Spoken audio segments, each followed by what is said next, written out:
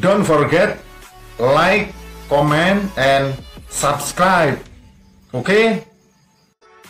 Oh, oh, oh, oh. Kali ini saya mendapatkan garapan pemasangan double din merek Karman. Apa itu Karman? Karman itu Kar adalah mobil, Man adalah manusia. Jadi Kermen ya oke. Okay? ini dia soketnya guys. Soket yang berwarna-warni. Sama seperti ini tuh arahnya ke speaker.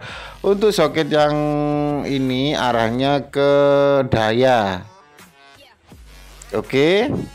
jadi merah itu untuk ACC ACC itu output dari kunci mobil pertama, kunci kontak mobil pertama. Untuk yang kuning itu langsung ke jalur B plus aki ya. Dan untuk yang hitam itu arus min atau masa atau negatif. Jadi begitu guys. Jadi gunakan tiga kabel saja dari dayanya ya. Nah ini dia remote-nya, ini harganya guys. Harganya ini kata orangnya beli di Surabaya guys. Harganya sekitar sekitar 600 ribu rupiah. Ini dia bat apa remote-nya ya. Nah trara treleng. Ini dia double din-nya. Nah, double din ini dilengkapi dengan fitur-fitur saat ini guys. Bluetooth USB micro SD dan ini sudah nggak ada uh, eh, DVD playernya ya guys. Jadi nggak nggak pakai kaset sudah ya sudah nggak zaman. Di tahun 2022 ini pakai kaset VCD atau DVD ya. Ini uh, jalur input dan outputnya untuk RCA ya ini. Ini untuk soketnya yang tadi sudah dibedakan oke okay guys Langsung saja kita ke TKP guys. Kita ke lokasi mobilnya seperti ini guys. Ini uh, player yang lama ya. Kita lepas dulu guys. Seperti ini cara melepasnya guys. Kita saat ini memasang pada mobil Xenia 2005 guys.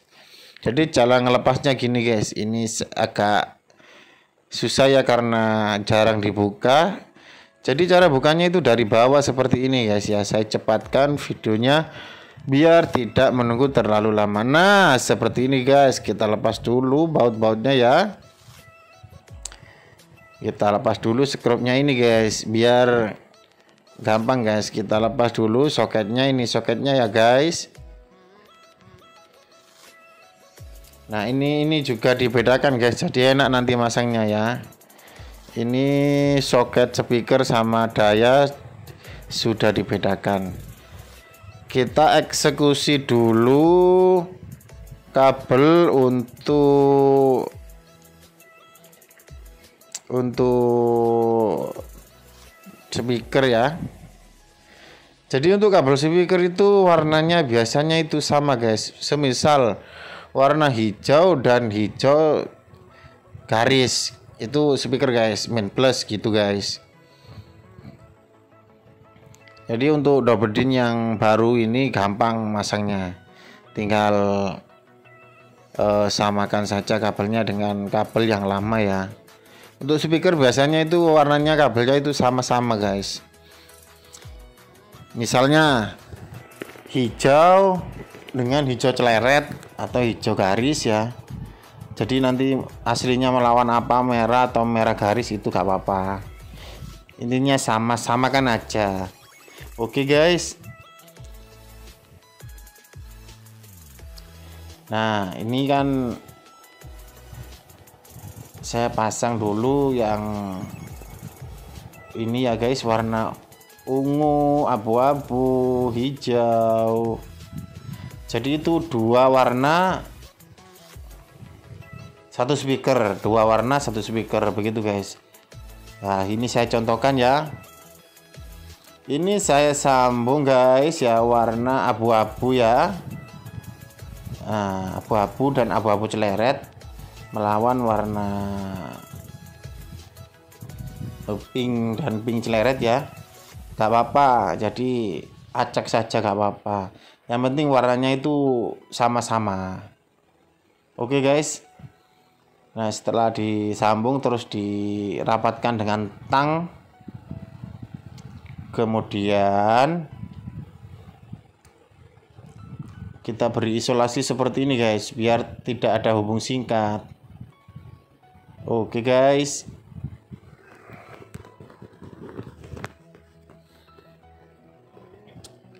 Jadi empat warna ya delapan warna itu ya empat pasang ya gitu guys nah semua mobil keluarga itu biasanya ada empat speaker. Jadi ada empat pasang warna ini guys.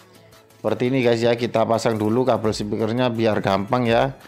Pokoknya kalau ngerjakan apa pun itu yang gampang dulu aja guys. Biar waktunya itu nggak terbuang untuk yang sulit. Begitulah kiranya guys. Oke guys lanjut guys. Sekarang warna hijau dari soket dopedin ya ini warna putih ya melawan warna hijau dari dopedin begini guys.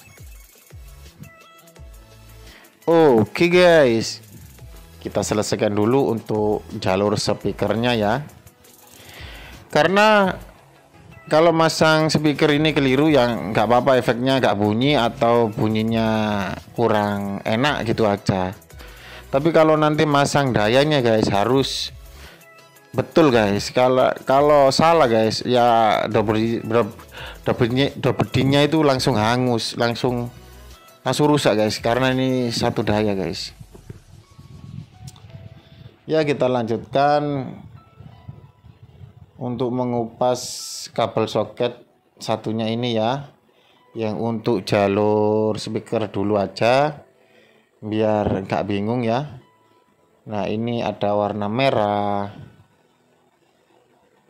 Nah ada warna hijau. Tinggal warna merah dan warna hijau ya yang dari aslinya ini. Kita kepas dulu isolasi hitamnya. Kemudian kita kupas ya guys. Seperti ini kita kupas. Ini saya cepatkan biar yang nonton gak bosan ya.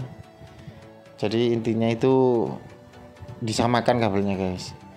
Kalau ingin yang ini pelan videonya tinggal kurangi aja kecepatannya ya. Ini masih tahap penyambungan speaker. Sama kayak yang awal tadi ya. Kita rapatkan pakai pakai tang guys.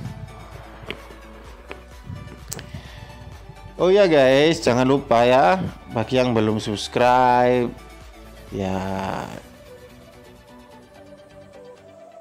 tekan tombol subscribe ya guys Nah ini saya isolasi dulu ini saya sudah sambung. Kalau mengisolasi pastikan tidak ada kabel yang yang muncul. Nanti biar enggak connect enggak nyambung sama body ya.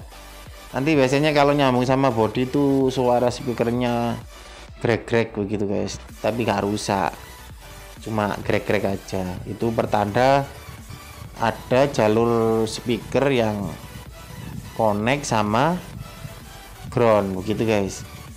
Nah ini guys ya. Tinggal satu warna ini satu set warna ya. Kita sambung dulu.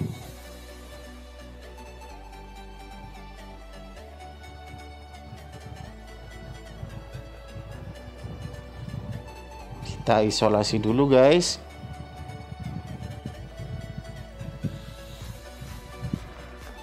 biar tidak ada hubung singkat pastikan isolasinya baik dan benar.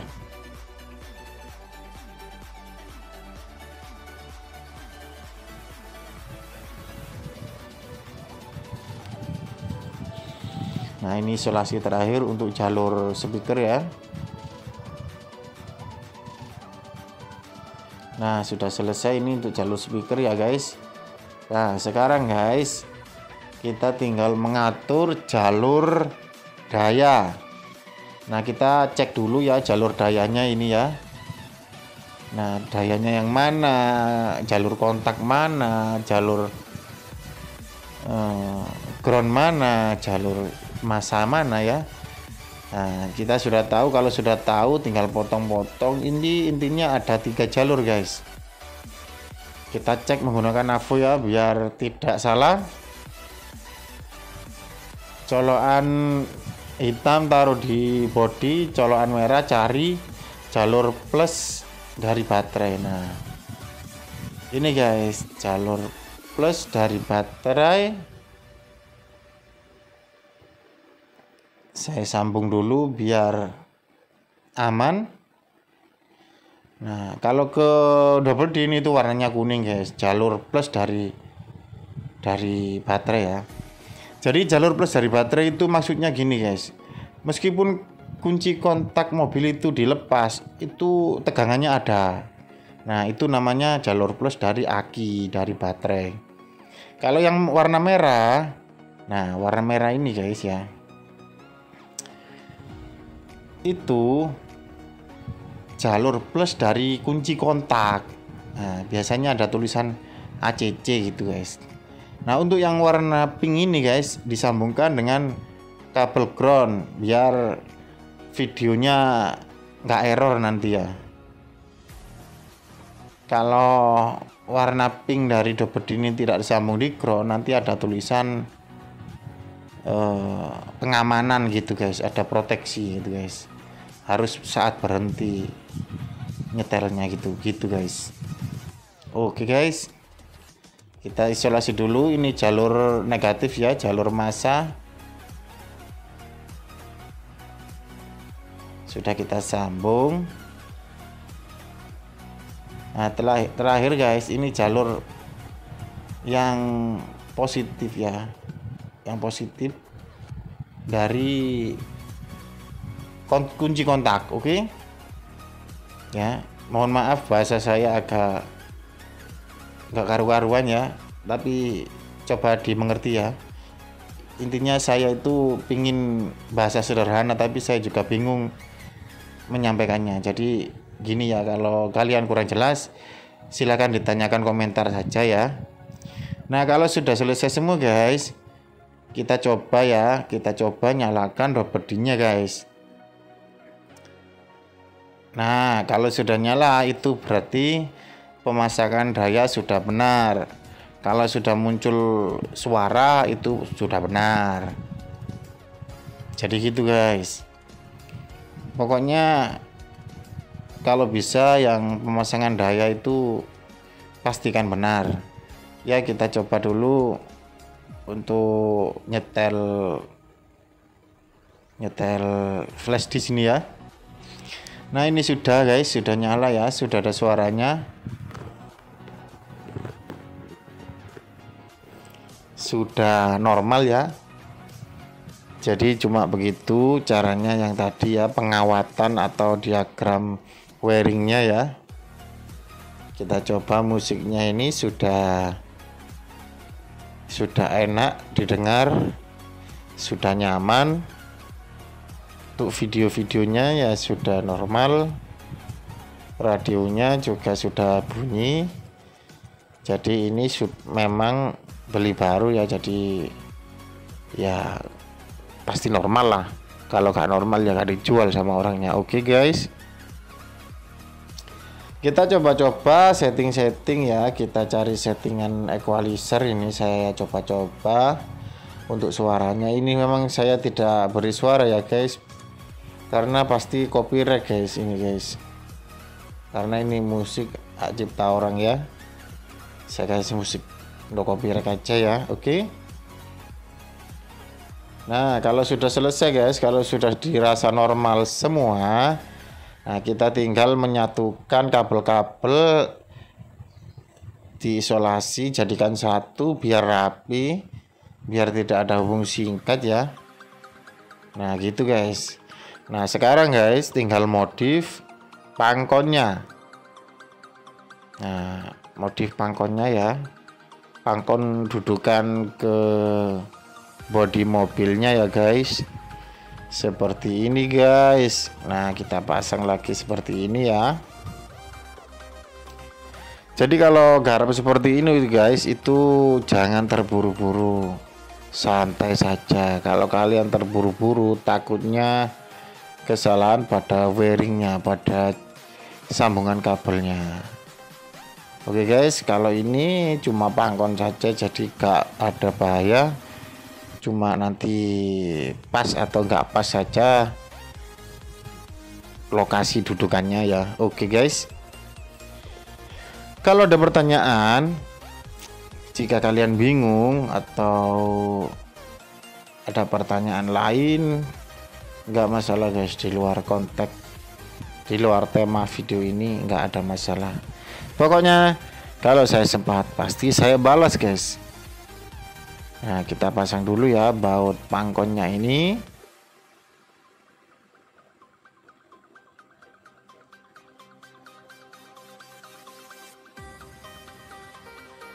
Kalau nggak pas tinggal ditaruh di sebelahnya. Sebelahnya gitu guys.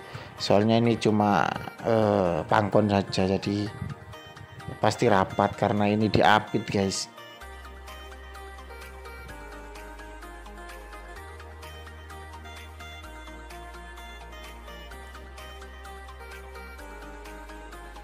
Kita pasang untuk eh, satu ya ya.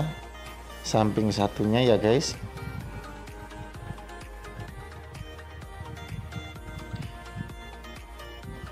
sebenarnya masangnya itu gampang guys. Yang sulit itu tempatnya. Kan mobil itu kecil guys. Ruangan mobil itu kecil sempit. Ya kalau besar ya aula guys ya. Oke? Okay?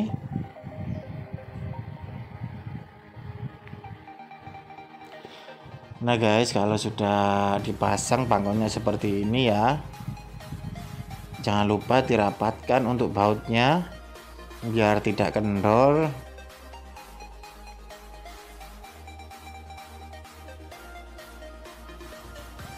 Biar bautnya nggak jatuh ya. Sekarang kita pasang soket-soketnya dulu. Soket speaker sama soket daya tadi ya. Kemudian kita pasangkan seperti ini guys ya. Nah sudah mantap ya guys kita pasang soket-soketnya dulu ya guys. Jangan lupa antennya ya kalau perlu radio bi biar tinggal mindah. Jadi antennya tetap kalian pasang jangan dilepas oke? Okay? kita pasang dulu bautnya skrupnya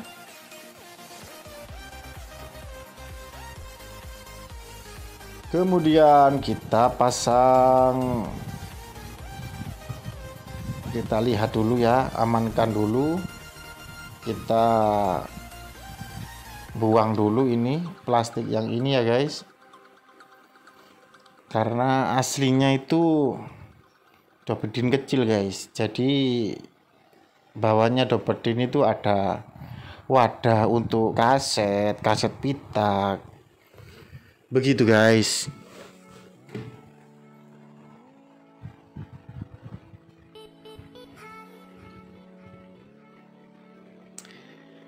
Coba kita lepas dulu soket-soketnya ya. Namun kalau sulit eh, langsung saja kita pakai ngelepas soket ya.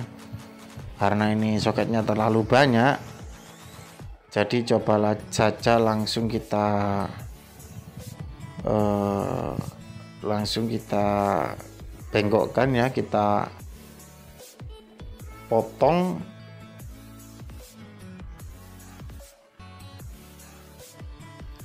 Kita coba langsung saja kita bengkokkan ya untuk plastiknya ini karena ini cuma plastik. Nah ini sudah saya bengkokkan tadi ya sudah lubangnya sudah pas sudah sip ya Nah, sudah terpasang, guys. Sudah mantap, guys. Oke, guys, tinggal merapatkan saja ini, guys. coba kita rapatkan ya kita paskan posisinya guys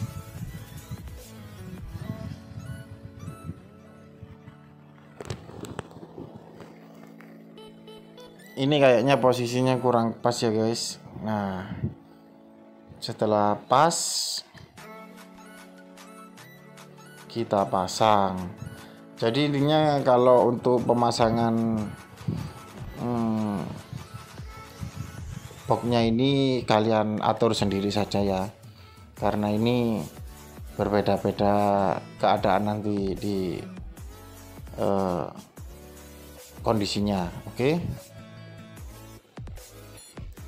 seperti ini guys sudah mantap kan ya?